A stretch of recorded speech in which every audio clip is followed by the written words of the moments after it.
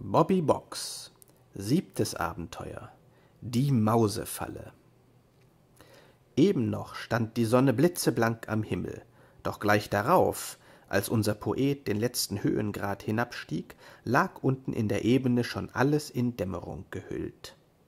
Dunkle Ahnungen von kommendem Unheil trieben ihn vorwärts. Seiner Marigold musste Gefahr drohen. Im Traum hatte er den finsteren Mr. Jim gesehen, der nach Osten eilte, also in Richtung der Poststation Norfolk, desselben Ortes, in dem Marigold demnächst ihre Tanzkunst zu zeigen beabsichtigte. Bobby schaute nach allen Himmelsrichtungen. Wie sollte er in dieser Wüstenei den richtigen Weg nach Norfolk finden? Er wollte sich schon auf seinen guten Stern verlassen und drauf losmarschieren, als er im Schummerlicht ein verhutzeltes Männchen erblickte, das inmitten eines Steingerölls saß und scheinbar trübsinnig den Kopf stützte. Holla, wo geht der Weg nach Norfolk? rief Bobby den Griesgram an. Über die Talsenkung hinaus, antwortete das Männchen mit Grabesstimme, ohne den Kopf zu heben. Bobby erschrak. Hinter den knochigen Fingern sah er einen lauernden Blick, in dem es teuflisch aufleuchtete. Das waren ja Mr. Jims Augen. Auch die Nase und das lange Kinn waren auffallend ähnlich. Schnell wandte sich Bobby ab, doch als er sich bald darauf umsah, war der unheimliche Kerl spurlos verschwunden. Aha, dachte Bobby Box, ein Spuk, der Teufel ist am Werke. Er machte, dass er weiterkam. In der Talsenkung entdeckte er ein verborgen liegendes Haus, das recht sonderbar ausschaute und trotz sorgsam verriegelter Fenster und Türen alle Merkmale des Zerfalls und der Verkommenheit in sich trug. Wer mochte hier hausen oder gehaust haben? Bobby wollte weiter, ihm gruselte, aber eine unsichtbare Macht zog ihn die Stufen zur Eingangstür hinauf. Schon klopfte er. Nach kurzer Zeit klirrte ein Riegel, ein Spalt tat sich auf, und die Tür stand plötzlich sperrangelweit offen, ohne dass jemand sichtbar wurde. Gespensterbude, entfuhr es Bobby, doch grüßte er auf alle Fälle. Good evening. Er nahm seinen Hut ab und schwenkte ihn in die Leere hinein, um sich zu überzeugen, ob wirklich niemand dort im Dunkeln verborgen stand. Wir wollen es dem Leser verraten. Mr. Jim war es, der heimlich die Tür geöffnet, um Bobby hereinzulocken und sich dann schleunigst wieder in eine Nische neben der Tür gedrückt hatte.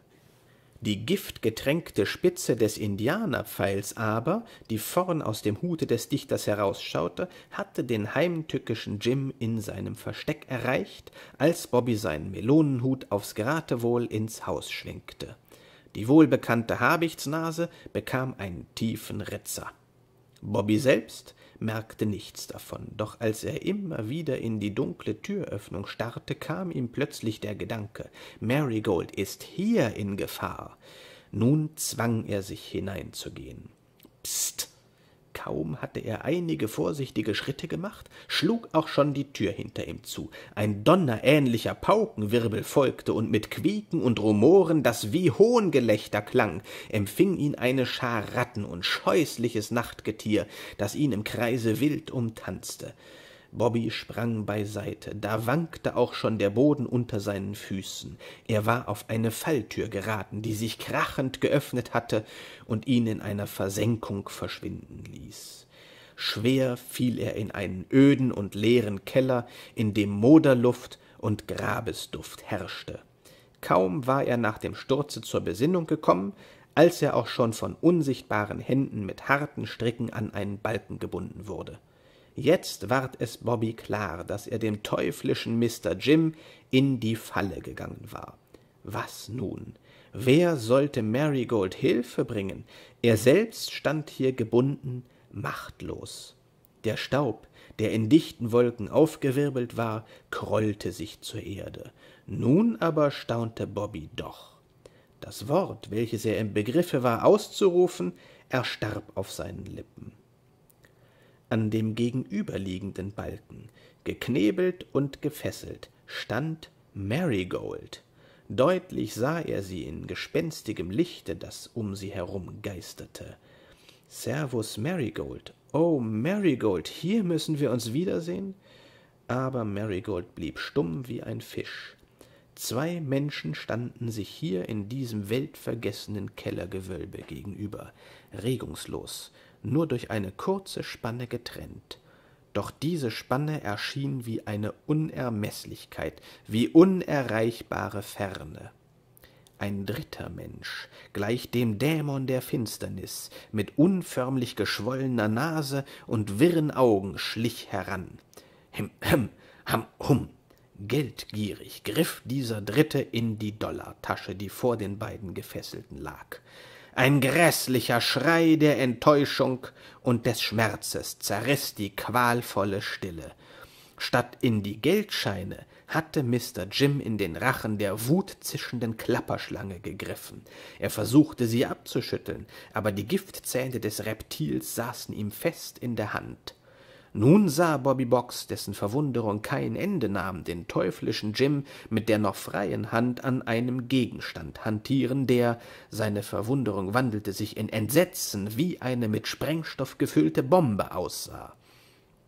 Eine weiße Schnur schaute aus einer kleinen Öffnung heraus. Der Schuft legt Feuer an die Lunte, schrie Bobby in höchster Verzweiflung zu Marigold hinüber. Marigold aber sah nichts. Vor ihren Augen lag eine breite Binde. Mr. Jim hatte sich nach dieser ruchlosen Tat mit seiner geschwollenen Nase und der Klapperschlange in seinen noch von Geldgier gekrampften Fingern rückwärts durch eine Wandtür gedrückt und war verschwunden. Hier also, durch die bisher unsichtbar gewesene Tür, führte ein unterirdischer Gang ins Freie. Die Lunte schmorte. Der arme Bobby presste seine Augenlider fest zusammen, um Marigold nicht zu sehen. Verlorenes Glück, seufzte er, und vor seinem geistigen Auge sah er all seine schönen Träume versinken, ein trautes Heim, spielende Kinder und eine liebenswerte und schöne Lebensgefährtin. Das wäre das richtige Happy End gewesen, brachte der elegische Dichter heraus und bedauerte jetzt, diesen verschwindenden Glückstraum nicht in Versen besingen zu können. Er wurde aus diesen Gedanken herausgerissen.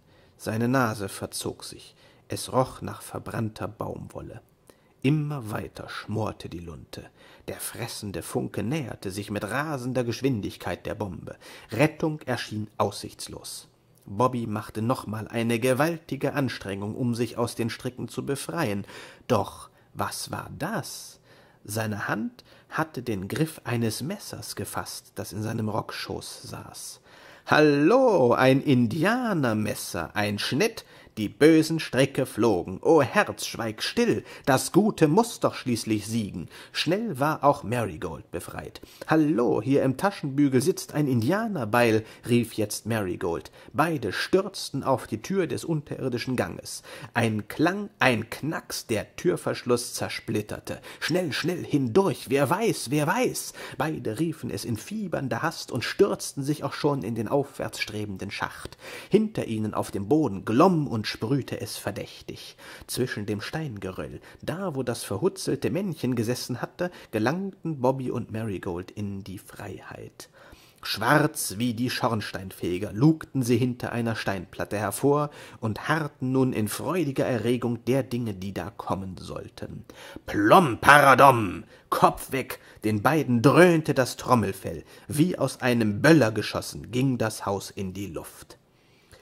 Da geht sie hin, die gute Stube, es bleibt nur noch die Kellergrube, die Geisterbude ist zerstoben, die Trümmer regnen noch von oben.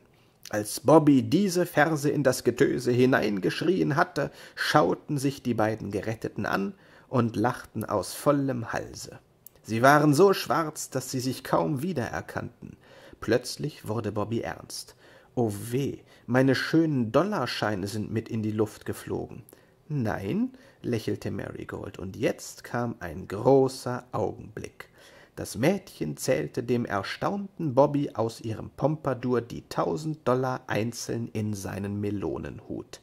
Darauf ließ sie Bobby mit offenem Munde stehen und ging ohne weitere Erklärung daran, sich zu säubern und zurechtzumachen. Es war einmal ein Mägdelein mit Namen Marigold, wie fein.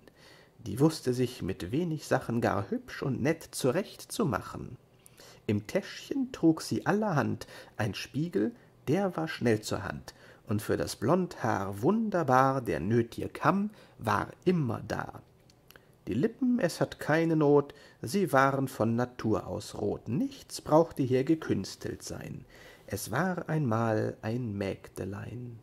Im Osten, aus dunklen Wolkentoren, brachen die ersten Sonnenstrahlen. Wie eine schaumgeborene Venus stand Marigold im ersten Morgenlicht.